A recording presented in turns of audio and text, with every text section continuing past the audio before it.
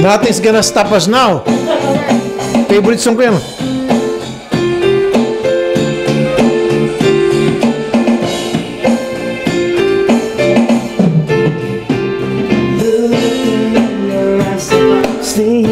paradise, this world that I found is too good to be true. Beside you, want so much I give you this love in my heart that I feel feeling for you.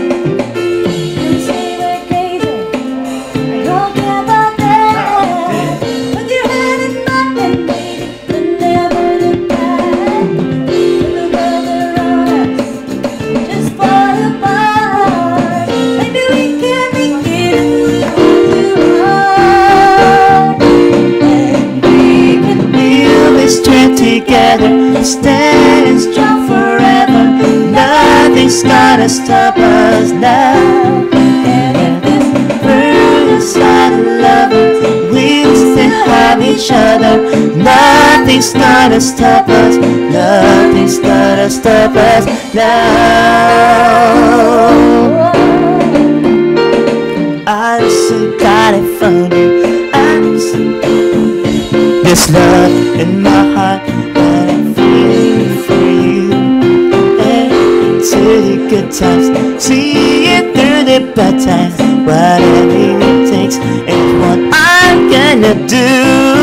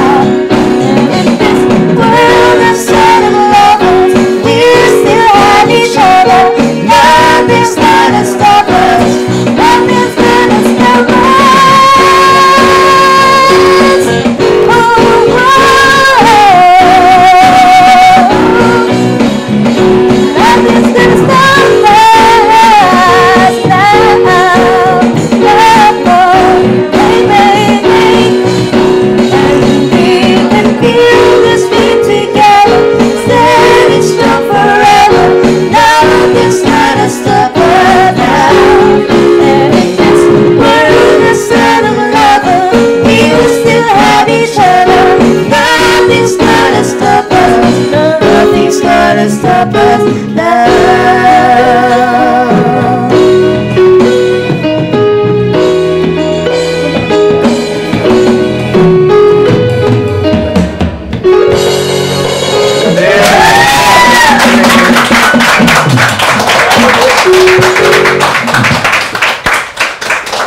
Alam niyo po, I'm speechless.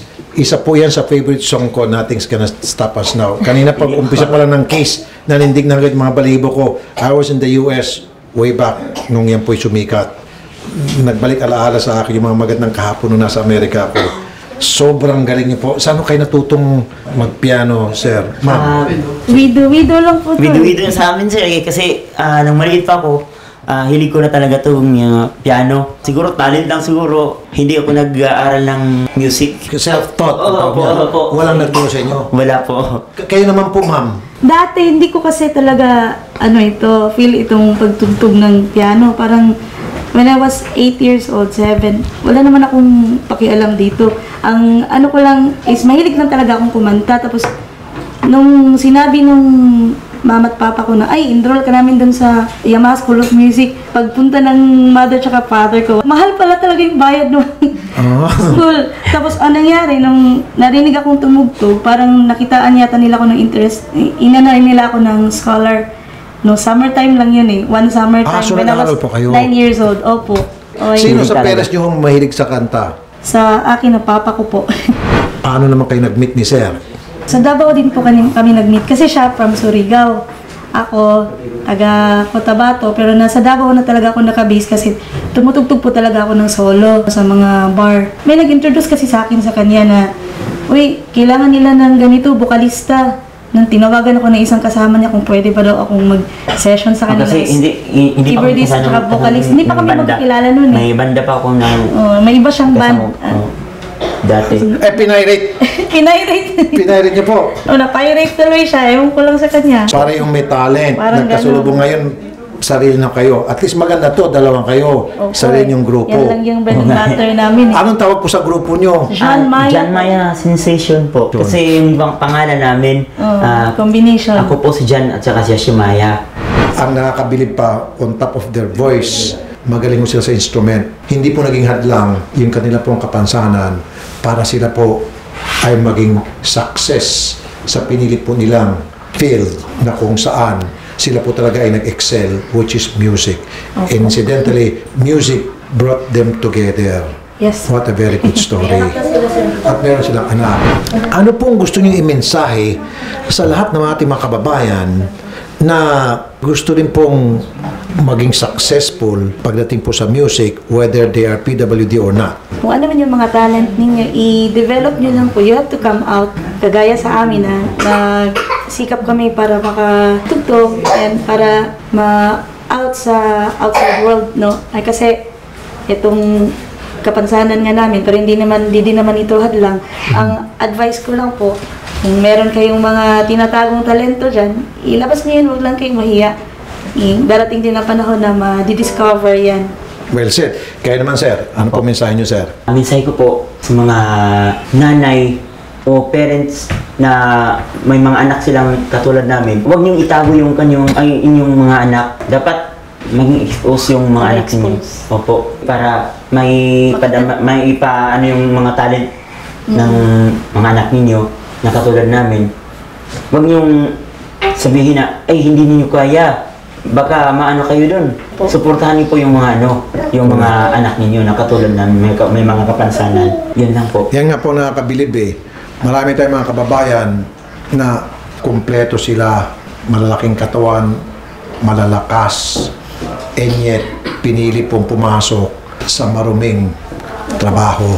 Yung iba, batugan, ito po sila. Hindi po naging hadlang ang kanilang kapansanan para sila po ay sumikat, makilala at kumita ng marangal. Napakaganda po itong story nito. Ako po ay taos puso nagpapasalamat sa kanilang dalawa. Ito po ay napakagandang ehemplo sa lahat ng mga manonood, sa lahat ng Pilipino, sa buong mundo na huwag niyo pong idahilan kung ano man yung problema meron kayo sa buhay para you will stop achieving the goal. Matagal niyo na po ang gustong makamit. Sila po ang isang halimbawa na what the mind can conceive, the mind can achieve. Palapakan natin sila. Okay. Meron po ang regalo sa inyo. Okay. Ah, okay. Bigyan ko eh. Tigli lima. Okay sa inyo.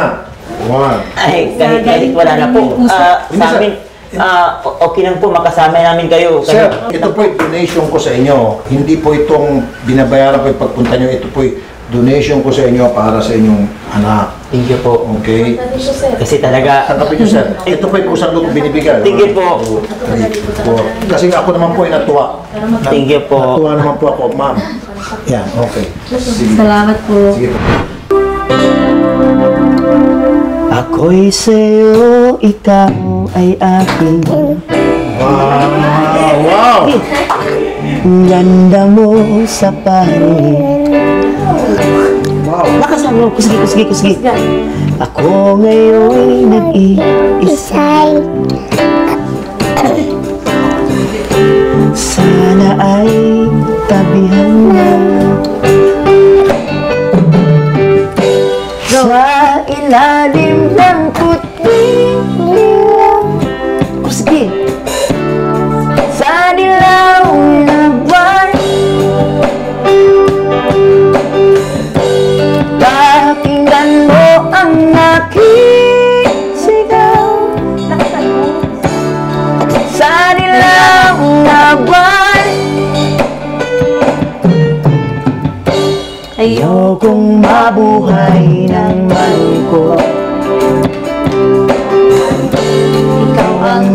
nagpapasaya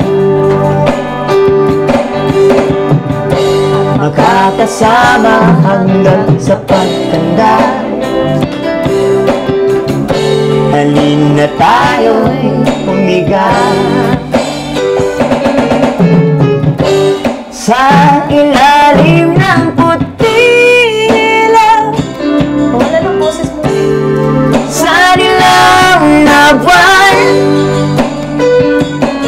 Hindi kumanta Pakinggan mo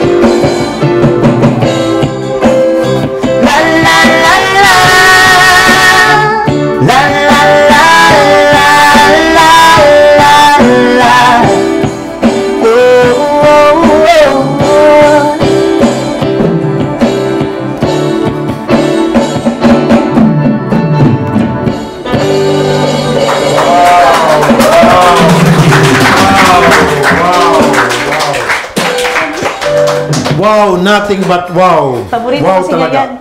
Pinaka-wow. Yung mas maganda po yung kanta nyo ngayon kaysa yung sa dating Ganas Tapos Now. mas maka, nakakalabog sa damdamin. Ang Ganda, sir. Thank you po. Saan po kayo tumutugtog? Sige po, i-plug natin. Marami kami mga viewers sa Davao. Saan po sa Davao? Ah, sa ano po, sa Calia 5. Dunya Vicenta Road. Loob po siya ng Davao House. Mondays and Thursdays. Every Friday, Claudio's The Public Grill. Okay. Sa Davao pa din po yun. Saan po yung banda? Alam, Quirino Avenue, harap lang siya ng Penongs. Ah, yung Penongs, alam ko yun ah. Yes po. Penongs Quirino. Okay, doon kayo tumutugtog. Yan. Ah, Friday? yung Saturday namin, meron pa lang Saturday sa Hilltop Saturday. every Saturday. Sa Hilltop. Vista View. Vista Ah, View. to top of that, hinahire din kayo pag merong mga Opo, affair. minsanan lang po. Ayun. Katulad kagabi. Eh, yung- na kami.